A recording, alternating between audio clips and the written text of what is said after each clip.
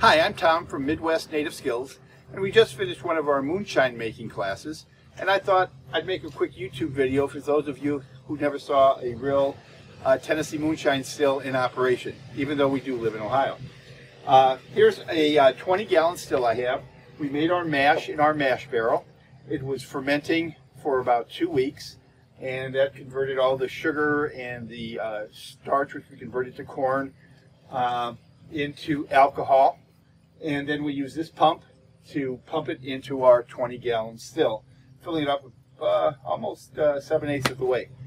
After that, uh, we put a seal around the top here.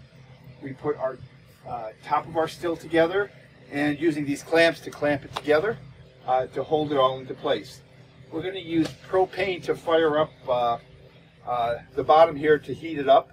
And the objective here is to heat the liquid in here, which is called the wash, up to about 173 degrees. That's the boiling point of alcohol. So that's going to convert the uh, all the alcohol into a vapor and leave most of the water still as liquid water down here in the still. Uh, that vapor is going to go through and then we're going to recondense that into alcohol. So to start the whole process, we need to turn on the propane tank and fire up our burner in the bottom.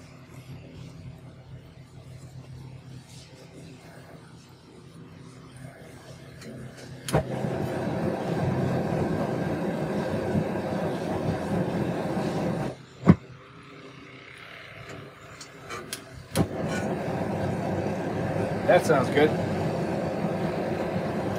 Okay, so now that this part is going, let's go around to the other side and I'll show you how the other part of the still works.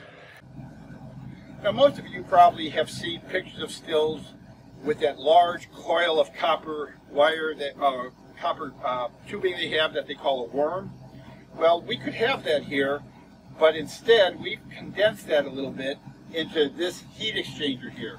We have this tube coming off the still, and that would normally be our worm that would condense the steam into a liquid, but instead we placed it in a jacket here that we're cooling with cold water. Our water's coming in the bottom of this, into this water jacket, and coming off the top. So the steam comes here in that pipe that goes to the center, and as it goes down, the cool water cools that steam down under 173 degrees, so it becomes uh, liquid alcohol again. It comes out the end. So we have our heat exchanger, and then down here we have our alcohol coming out.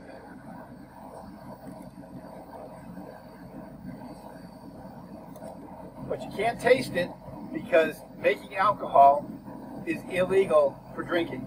The only thing we can make this for is for putting in uh, as gasohol in lawnmowers, cars, or things like that.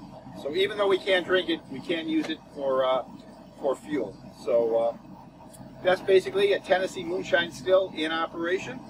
And uh, if you're interested in exactly how to make mash, how to set up stills, you might want to check out our moonshine class up on the website.